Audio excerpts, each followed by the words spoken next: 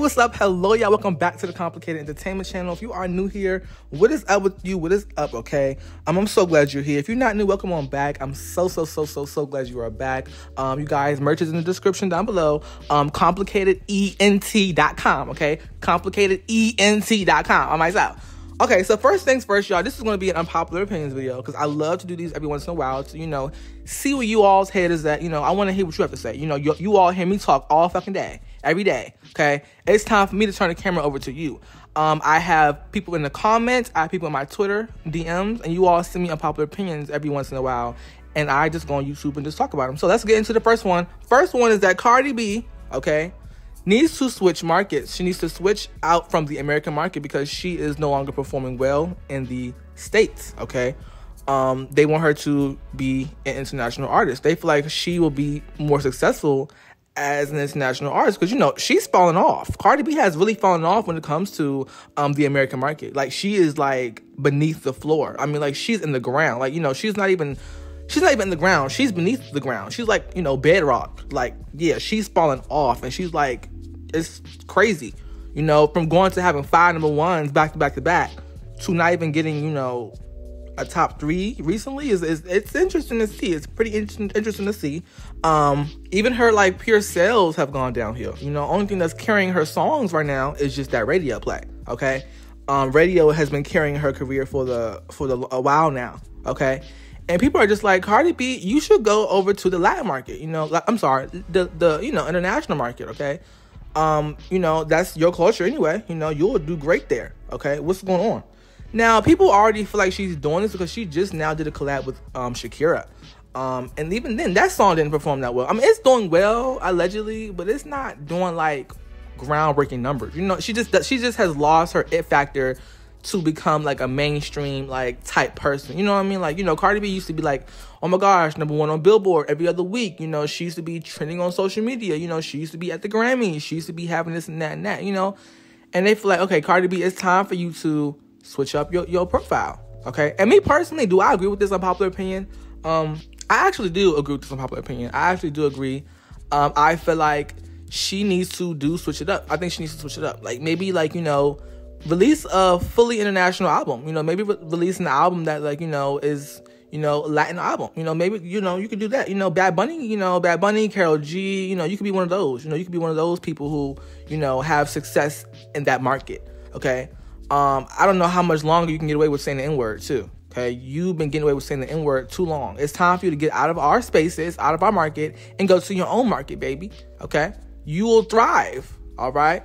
Um, also, I think Cardi B doesn't really. I'm not gonna say that because I don't want to be too controversial. But I will say this though. Cardi B cannot rap. And I know that may sound like, what do you mean? Oh my gosh, what do you mean? No, she can't rap. Like, and it's not like me being negative. She just can't rap. Like, she sounds like she's struggling to even mesh well with the beats that she's on. So, her best bet is to get on a beat that's more familiar with her culture.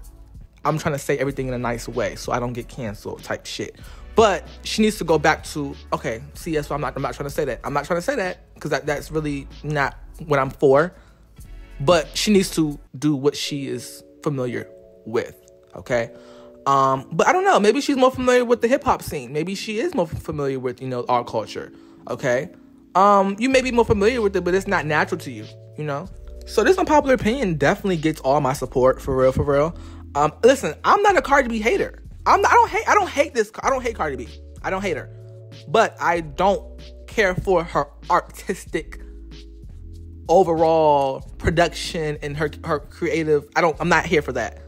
I'm not here for what she stands for. I'm not here for her music. I'm not here for any of that because it just doesn't seem like a genuine. I, I'm a rap head. I love rap. I love female rap. I love music. I love all of what comes with rap, and she's everything that rap doesn't need okay ghostwriting fraudulent fraud payola um you know just just no talent it's all that in the bag of chips i don't hate cardi b as a person because i don't know her ass i don't know her i don't know anything about her ass i, I, I listen I, I i don't know her her music and how she portrays to the industry i don't like that okay it's time to switch up to new markets and maybe i may you know maybe i may i may, may tune into a song or two maybe maybe okay but it's definitely time for her to get into a new market. All right.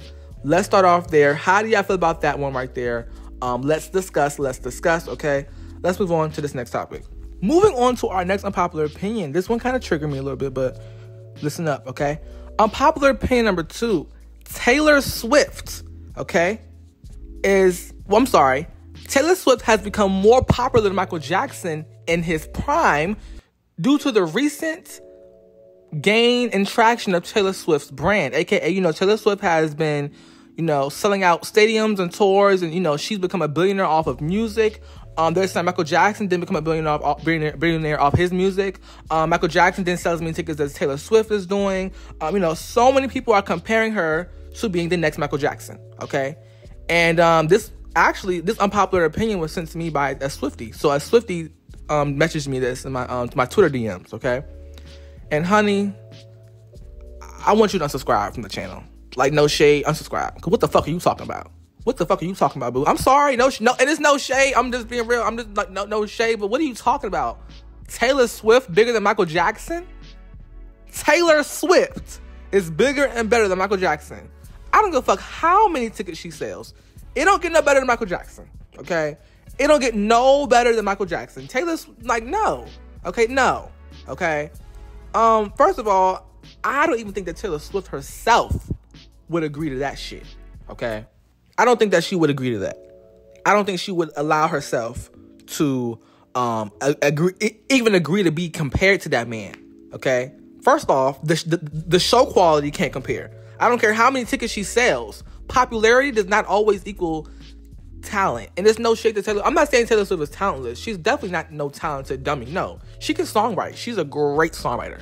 Her singing her singing ability is not bad. Like it's cool, but it's just enough to get her songwriting message out there. You know, it's just enough to push her songwriting ability out there as well. You know what I'm saying? Um, but she's a great musician.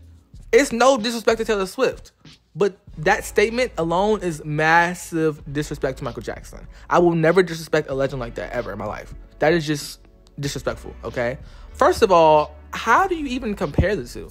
Like why why would your brain when you send me this unpopular opinion, I'm not gonna put your I'm not gonna put your name out there, but when you send me this unpopular opinion, what made you think that this was going to be like, oh, let's discuss this and have a, a, a, conversation about it? There's no conversation to be held about it. It's not. It doesn't make any fucking sense. Like no shade. Like no shade. I'm just being real here. Like no shade.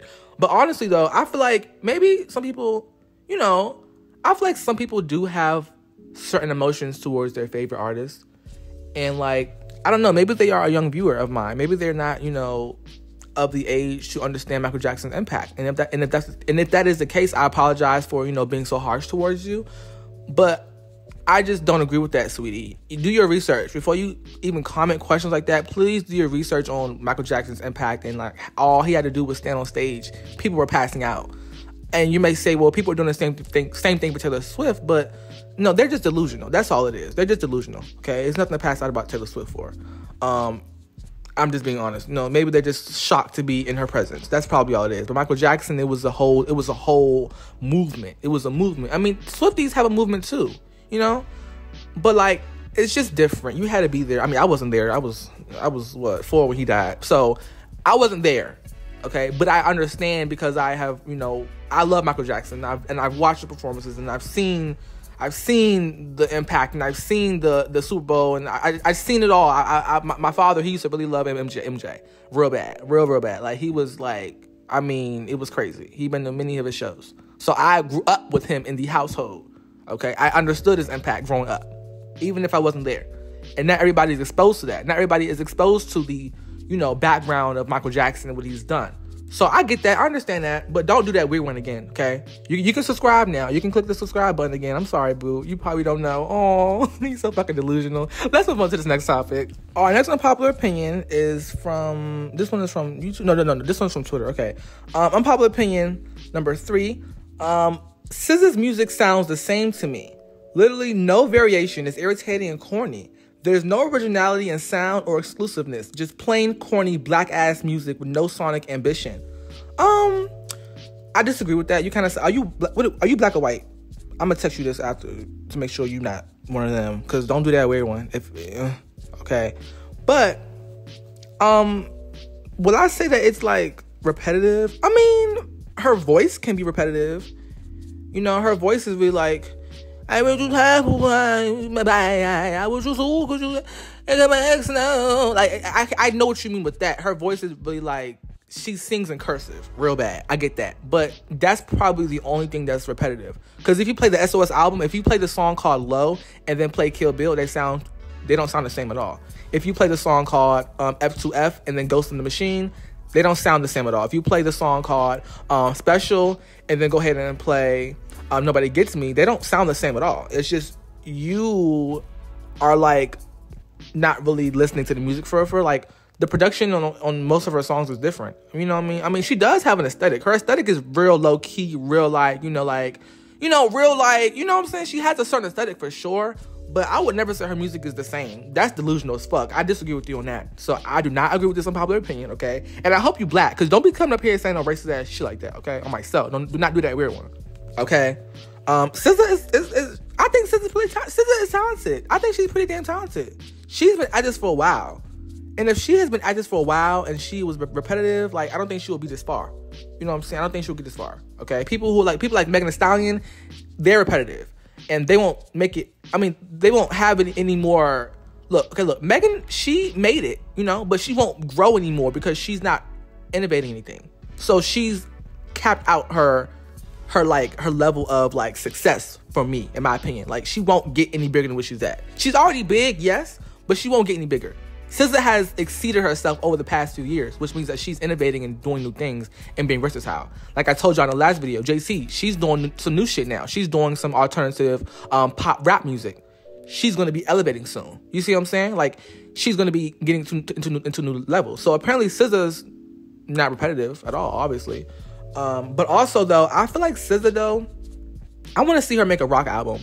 I know I know that sounds so random, but when I heard the song called F2F, I was like, this could be out. She has some potential. Real bad. Oh, she got some potential. I want to see her do some genre bending like Beyonce's doing. You know, I want to see her get into some new things and dibble and dabble into, you know, some different sounds that may not be the generic thing for R&B girls. You know, I want to see people, you know, try new things. I love the fact that Beyonce has done that. Like the whole new like, oh, let me do this genre. Let me, you know, people say it's culture biting.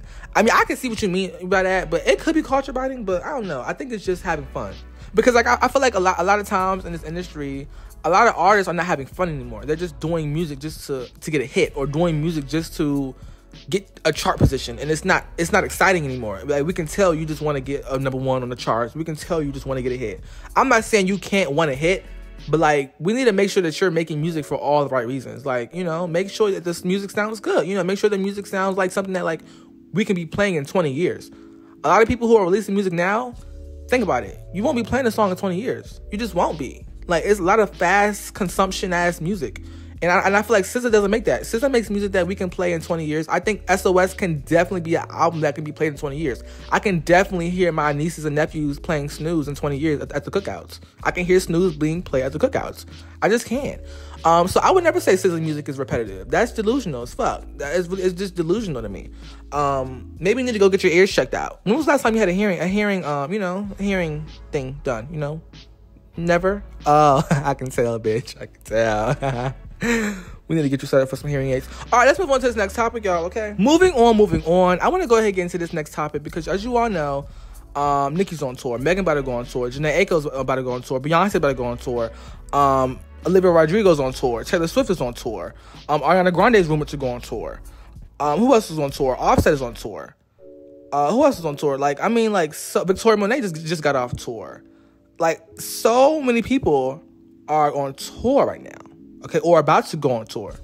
Okay, like it's a lot of people right now. It's crazy. Usher, Usher's on tour, about to go on tour.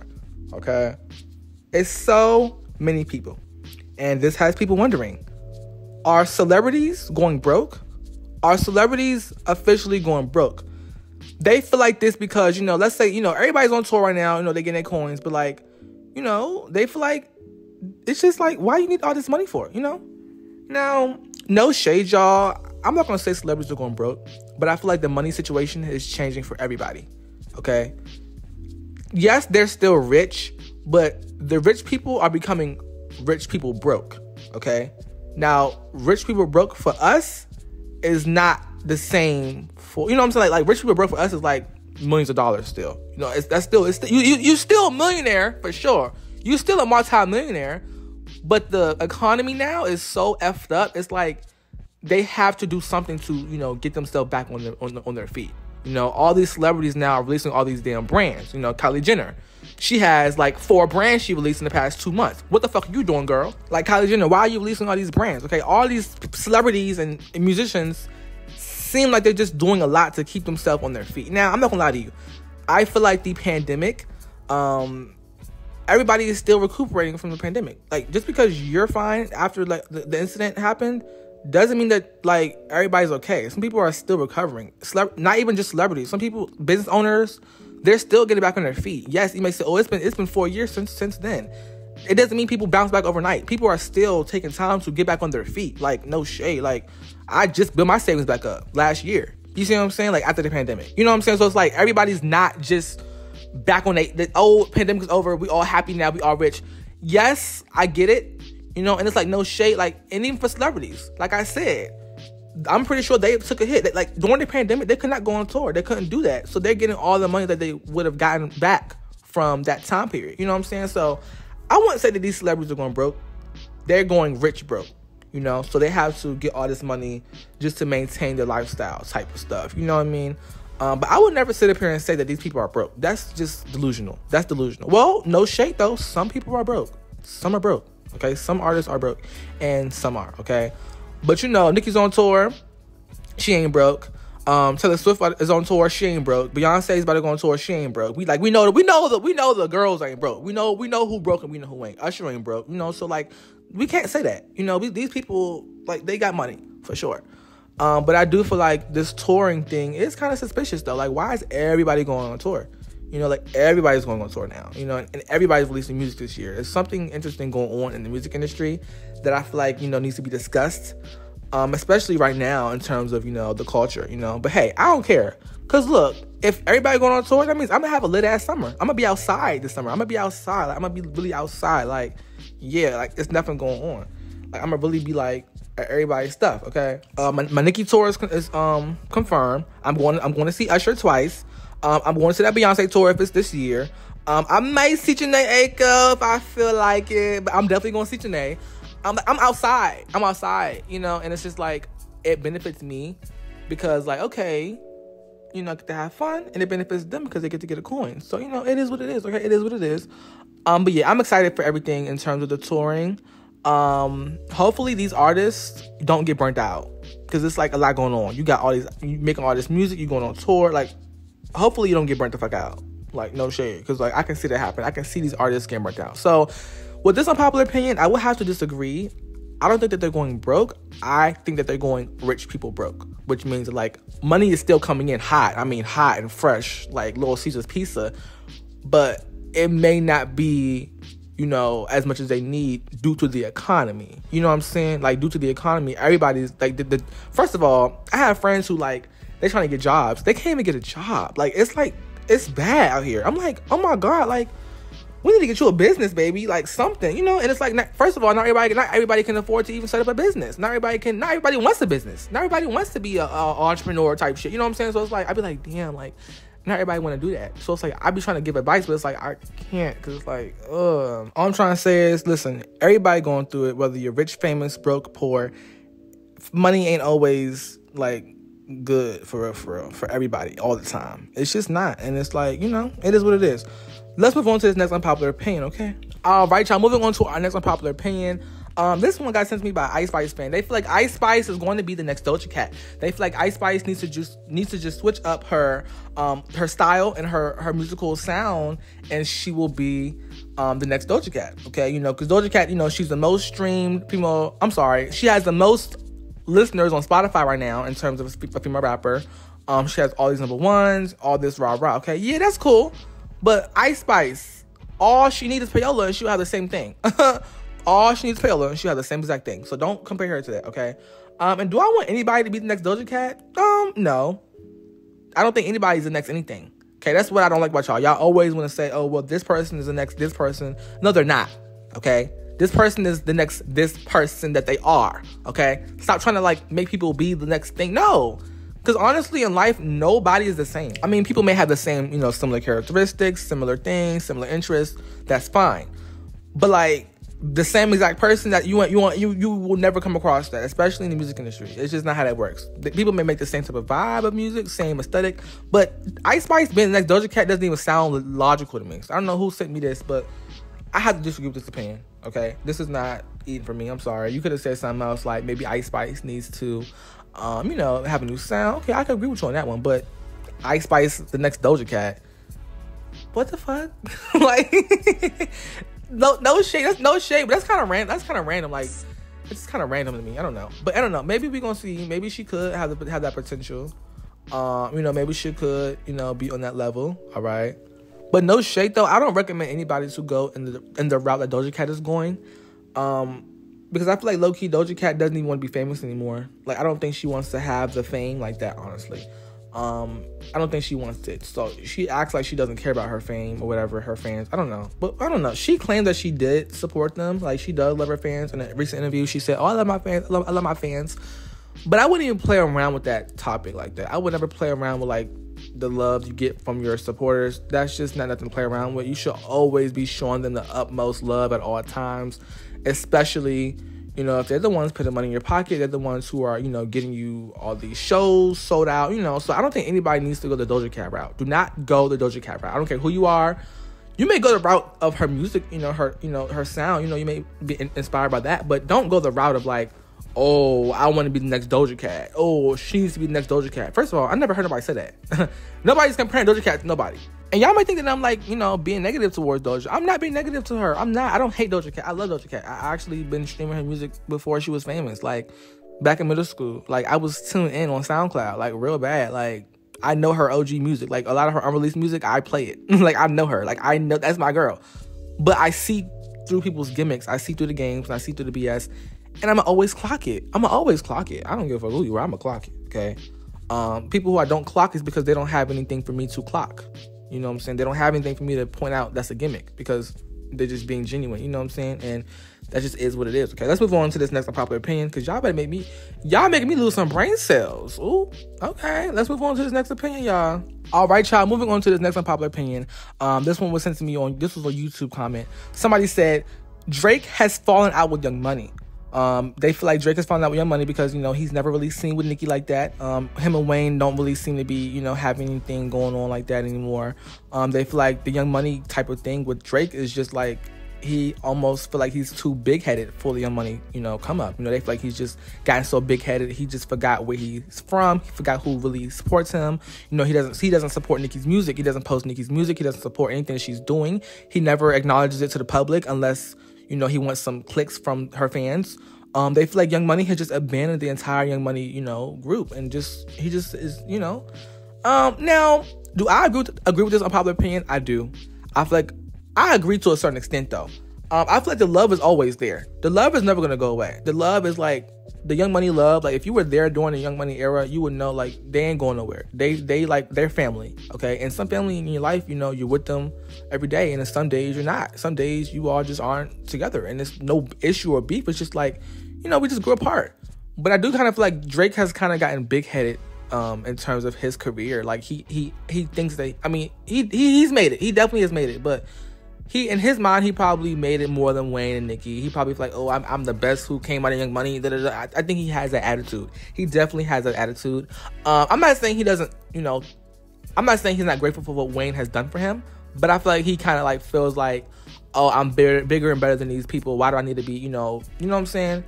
I don't know. I feel like Drake has definitely within the past few years started moving weird towards people in, you know, in Young Money. Um, you know, uh, you know, I just feel like you know, it just for me alone, it's just the Nicki. It's Nicki and Drake. That relationship was so strong back in the early 2010s, and it just seems like now it's like it's you know. But then again, you know, they all have their own lives. You know, their own. They're doing their own projects. They're on. You know, they're on their own tours. They have kids now. You know, they have their own families. You know, they're doing their own thing. And I get it. You know, time can you know hinder that. I'm sorry, not time life can hinder your relationship between certain people in life, and it's okay. It's totally fine. But like I said, the love is not lost. But I feel like Drake has definitely been moving weird. He's definitely been moving weird. Um, so I do agree with this unpopular opinion for sure. Um, but I don't think there's there's no beef though. There's never gonna be any beef. There's never gonna be any beef. Okay. But um, yes. Okay. Let's discuss that down below in the comment section. Let's discuss. Let's discuss, y'all. Okay. Um, how do y'all feel about that? Maybe I'm tripping. Maybe maybe this isn't true. Maybe Young Money is doing just fine, and we just don't know because we're not behind the scenes and we don't know what goes on behind the scenes like that. So maybe everything is just great. Maybe everything is better than it ever was, we just don't know. Okay, but I mean, yeah, let's discuss that down below. Um, I kind of do miss the Young Money era. Like I miss the 2010s. Like, you know, every time Nicki got a song, she'll be seeing Young Money. I miss seeing them on Instagram together in pictures. I miss seeing like you know Wayne, Nicki, Drake, and you know Tyga and all of them on stage together back. You know, I I miss that era. It was a simpler time. Um, you know, I miss the Maybach music era. You know, like 2010, 2011. I mean, you know, I was in fucking elementary school, but it was still a vibe. I still remember the like the, the entire thing. Like I remember going on my um YouTube and seeing like the um Bedrock video. Like I just remember all that. I miss Young Money like bad. I miss the Young Money era so much. It was just so it's so nostalgic. Um, hopefully we can have a Young Money tour. You know, I want a Young Money tour. I want a Young Money tour with everybody. Tyga, I want the whole everybody, everybody. I don't give a fuck who you is. If you part of Young Money, you on tour. You know, I would love that, and I wanted them. To, I want to do. I want the. Mm, I want the Young Money tour to be a stadium tour. Now, no arenas. I want a stadium tour for Young Money. Okay, Drake, Nicki, and Wayne. They can definitely sell out a stadium for sure. For the Young for the Young Money tour, for sure. Okay, um, you know they would have to discuss that, talk about that, um, and really, you know, just get into that. You know, everybody have about an hour for their set, and then they do some songs together, and they go home. That'll be cool. You know, three hour show. That's good. What? Three hour show? That's good. What the fuck? And then everybody only perform for an hour, for real, for real. So like, that's good. Okay. But yeah, let's discuss that down below in the comment section. Would you be here for a Young, a Young Money tour? Um, do you feel like Young Money has kind of split up a little bit? Do you feel like Drake is fake as hell? Um, let's discuss all that down below in the comment section. Yeah. All right, y'all. Moving on to our next not bad, y'all. My pizza done. my pizza done on my soul. Yeah, pepperoni on my. I'm about to be eating dinner after I finish this video on my. Anyway, um, our next popular opinion is uh, Beyonce needs to wait to do her tour until next year. Okay, because people simply cannot afford to do another tour back to back like this. Okay. Um, no shade, Beyonce, but I do agree with this unpopular opinion. Your own fans are DMing me this, telling me this that they want you to wait. If your own fans are telling you to wait for something, that's a problem. That means they're not ready. People are still recovering financially from the Renaissance World Tour. Now, is that their fault? Of course it's their fault, but no shade, but because nobody forced you to buy them tickets. Nobody forced you at all, okay? But I tell y'all, I have a friend who is still paying off them damn Renaissance tickets. She she decided to sit, you know, the, um, the on stage risers, like the people who are on stage. She paid seven bands for them. And and I'm like, girl, what you doing? Who you fuck for that? She like, oh, it's uh, it's okay. I'm paying installments. Okay, but you need to install a financial advisory plan. That's what the fuck you need to be downloading on your phone. Um, anyway, so I feel like personally, the BeyHive, I, I, I feel bad for y'all. Every day you're getting thrown with new products, new tours, new random ass clothes from Ivy Flop. I feel bad for y'all. Okay, I feel bad. You know, all of a sudden now you gotta buy fifty dollar hair shampoo. I mean, I already bought Cécred, so I'm, I'm calling myself out. I'm sorry, but and now you gotta pay two thousand dollars to see a girl perform. Y'all be going through it over there. Y'all be going through it over there. I mean, I'm gonna be BeyHive too. I mean, mm, I love Beyonce. I like Beyonce. I, I like to get into her experiences sometimes, but I'm not a BeyHive. Like, I will never go around saying, "Oh, I'm a BeyHive. Mm, I don't sting people. I'm sorry. I'm not a bee. I like to I like to show love. I'm a unicorn. Um, so yeah, okay. That's my personal opinion on that. Um, I feel like she needs to wait as well. I do agree with her fans. If your own fans are telling you something, we're gonna have to wait. Okay, we're gonna have to not do that weird one. Okay, we're gonna have to wait. Okay. But yes, yeah, let's discuss down below in the comment section. Let's discuss down below. Um, how do you feel about all these unpopular opinions? I love unpopular opinions videos because I just feel like, you know, it's I feel like I'm talking to y'all. I feel like I'm really talking to you. Like you know what I'm saying? Like we're having a conversation. You know what I'm saying? So I love it. I love it here. I really do. Um, also, thank you all so much for watching. I appreciate you um, for watching to the end of today's video. Um, I may have another video coming out later today. Okay, so be on the lookout. Be on the lookout. Okay, on myself. All right, y'all. Be safe.